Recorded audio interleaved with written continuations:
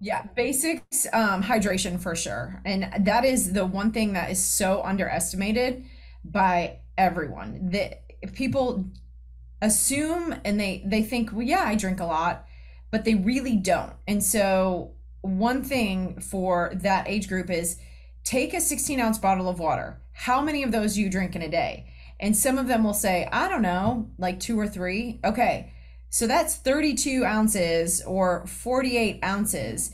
You should consume one half your body weight in ounces of water a day.